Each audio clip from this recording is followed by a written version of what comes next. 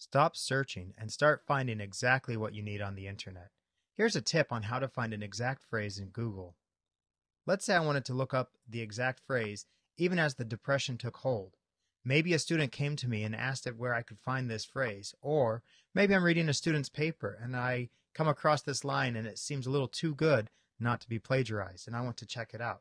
Now, if I go to Google and I type this phrase in and I hit Google search, you can see I get 22,900,000 results.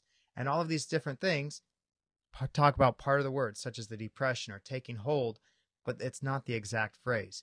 To find the exact phrase, all I have to do is type in quotes before and after the phrase that I want to type in, and then click on search. And now my search is now brought down to three results.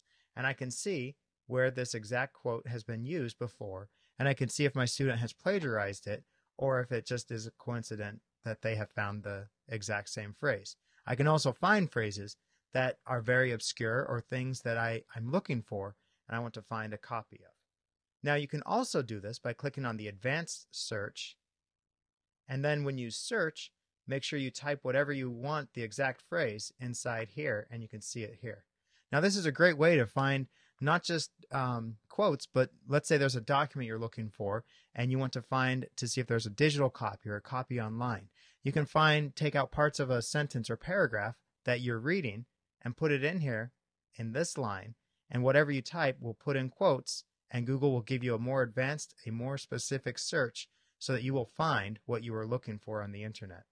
Hopefully this tip will help you stop searching and start finding exactly what you want on the internet.